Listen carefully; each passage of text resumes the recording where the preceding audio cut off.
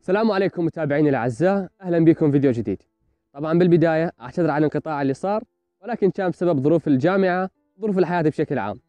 ولكن إن شاء الله راح تكون لي رجعة مميزة. وورد بعض الأشياء بالقناة مثل الكاميرا والصوت والإضاءة.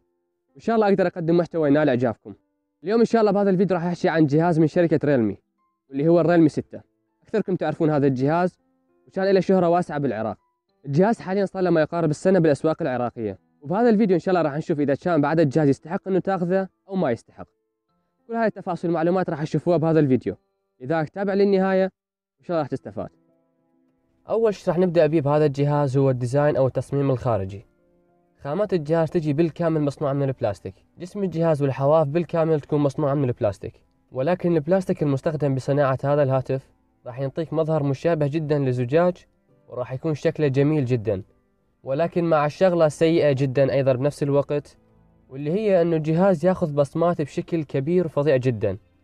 يعني مجرد مسكك للجهاز الجهاز راح ينتز بصمات. وبالظهر عندنا أربع كاميرات خلفية مع انعكاسات بالألوان راح تنطي للجهاز مظهر جميل وجذاب جدا. بالنسبة لموضوع التصميم فالشغلة الوحيدة اللي ما عجبتني به هي سرعة أخذ البصمات. نيجي للشاشة. بالنسبة للشاشة كأرقام فتجي بحجم 6.5 إنش من نوع اي بي اس ال سي دي بدقة فول اتش دي بلس 1080 في 2400 بكسل. ودرجة سطوع الشاشة يصل إلى 480 nits. وأيضا الشاشة تجي بطبقة حماية من جوريلا جلاس الجيل الثالث عندك الميزة القوية جدا واللي هي دعم الشاشة ل 90 هرتز.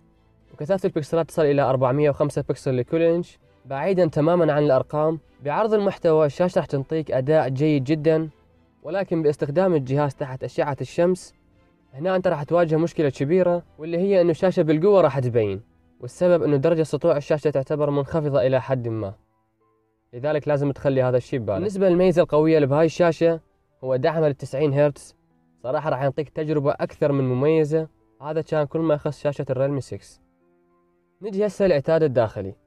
الجهاز يجي مع معالج ميديا تيك الهيليو جي 90 تي اللي يكون مبني على معمارية 12 نانومتر مع معالج رسوم من مالي جي 76 أول شيء إذا استخدامك عادي كان تطبيقات على أشياء بسيطة نهائيا ما راح تواجه أي مشكلة مع هذا المعالج. وثانيا إذا كان استخدامك ثقيل سواء كان ألعاب أو استخدام التطبيقات بكثرة فأيضا هذا المعالج راح يعطيك أداء قوي جدا. وبالنسبة لموضوع الألعاب فهذا المعالج راح يقدر يشغل لك على سبيل المثال بلعبة ببجي راح يقدر يشغل اللعبة على إعدادات ال HDR مع فريمات عالية. وأيضا عنده خيار ثاني إذا تريد تلعب اللعبة على إعدادات السلس لأن المعالج بهاي الحالة راح يعطيك فريمات extreme وهذا الشيء اللي أنصح به عندما تلعب ببجي موبايل وبالنسبة للموضوع اللي صار عليه جدل هواية واللي هو موضوع الحرارة حسب استخدامي الجهاز راح يعتمد على المكان أو البيئة اللي أنت موجود بيها. وهذا الشيء اللي حاله حال أي جهاز. بالنسبة لي ما شفت أي ارتفاع ملحوظ للحرارة حتى عند اللعب لساعات طويلة. هذا كان ملخص الاستخدام بالنسبة للمعالج. بالنسبة لنظام الجهاز يجي مع الأندرويد 10 مع واجهة ريلمي يو آي بالنسبة لخيارات ال RAM وسعة التخزين راح يكون عندك خيار واحد واللي هو 8 جيجا بايت RAM مع ذاكرة 128 جيجا بايت. أنا هنا أحكي عن النسخ المتوفرة داخل العراق فقط. وأيضا مع إمكانية إضافة كرت ذاكرة خارجي.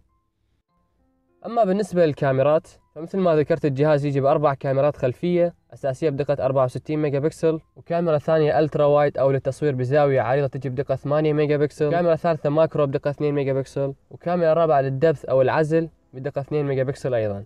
والكاميرا الخلفية تنطيك إمكانية تصوير فيديو بدقة 4K مع 30 إطار بالثانية.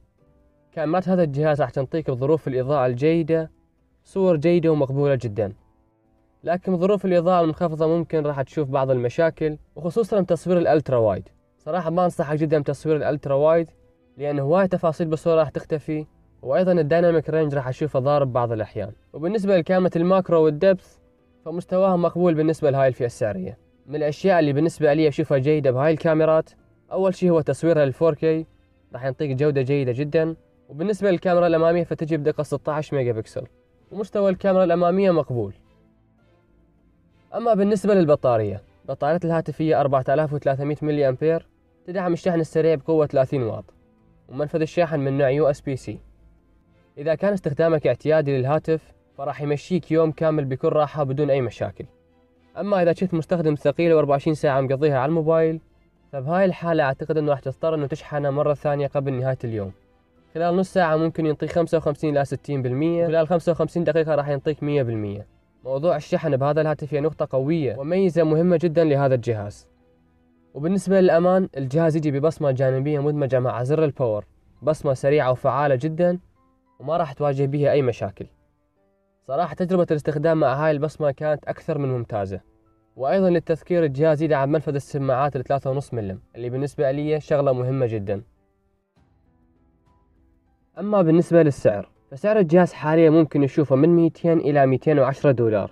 يعني تقريبا راح يساوي من 280 إلى 310 آلاف دينار عراقي. طبعا أكيد السبب معروف هو بسبب ارتفاع سعر الدولار. ولكن بالرغم من هذا بالنسبة لي وبرأيي الشخصي هذا الجهاز لا زال يستحق هذا السعر كون القيمة اللي قدمها مقنعة جدا مقابل هذا السعر. وبالتأكيد هذا رأيي ولكن الاختيار الأخير راح يكون لك أنت. بالنهاية هذا كان كل ما عندي بالنسبة لهذا الفيديو. أتمنى أن يكون نال إعجابكم لا تنسى أن تشاركني رأيك أسفل الفيديو بمكان التعليقات وأشوفكم فيديو جاي. في أمان الله. الجهاز حاليا صار ما يقارب السنة بالأسواق العراقية. بس انت إيش تشيله بالعراقي؟ ليش ما تشيله بال- أقول بشكل عام تشيله بالعراقي؟ تستخدم في العراقي؟ هذا شنو يعني؟ أيوه أنا شاي أنا عايز توفر بالعراق. أقول لك والله. فاضحنا البطل. عادي عمي عوف عادي يلا. والله قطعت سلسلة أفكاري. لا. يلا ما مشكلة ما مشكلة.